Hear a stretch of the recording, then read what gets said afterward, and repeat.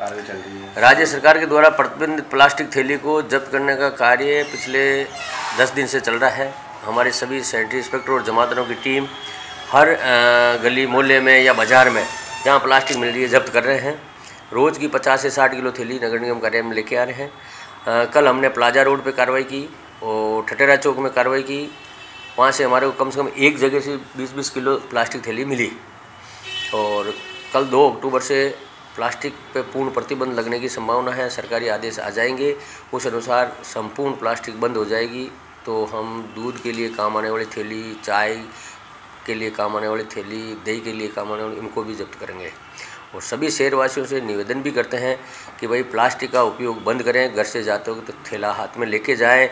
दुकानदार को भी समझाएँ कि भैया प्लास्टिक नहीं देने की है, न प्लास्टिक का उपयोग करने का है। सर, ये बंद हो जाएगी, इसके बाद चालान कटेंगे चाल नहीं मानेंगे तो दो तारीख बाद में चालान भी काटेंगे। और कल हमने दो चालान करवाए भी हैं प्लास्टिक के, जो प्लास्टिक उपयोग ले दे रहा था मतलब सब्ज़ी या सामान पे करके उसके चालान भी कराए दो चालान कितने के अब कोर्ट में क्या जरिमाना होता है? हम भी दो सौ अट्ठावन में कोर्ट में पेश करेंगे। तो सर निगम नहीं काटेगी चालान या कोर्ट ही देगा?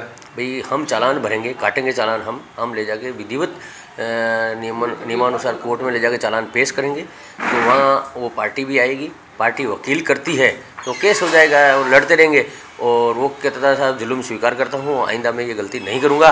तो माननीय मजिस्ट्रेट महोदय के द्वारा कितना चालान जरिमाना किया जाता है? सौ पाँच सौ हज़ार पंद्रह सौ दो हज़ार जो भी माननीय न्यायालय करेगा वो जरिमाना उसके ऊपर होगा। आज सर टोटल पन्नियाँ कितनी जब्त किया आज हमने साठ किलो प्लास्टिक जब्त किया है।